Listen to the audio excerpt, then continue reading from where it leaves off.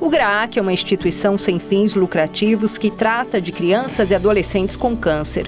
Criado há 26 anos, atende cerca de 3 mil pacientes por ano vindos de todas as regiões brasileiras, sendo cerca de 90% provenientes de estados do Sudeste. O local conta com a ajuda de voluntários e também de doações. Para homenagear este importante trabalho, o deputado estadual Márcio Camargo entregou a medalha de honra ao mérito aos colaboradores e aos fundadores.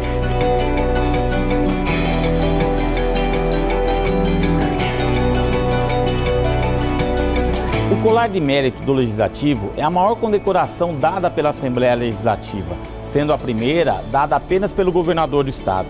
Na sessão solene, o deputado Márcio Camargo anunciou que conseguiu, junto ao deputado federal Gilberto Nascimento, uma verba para incorporar ao orçamento da instituição. O reconhecimento dessa instituição é muito importante para nós da Assembleia Legislativa.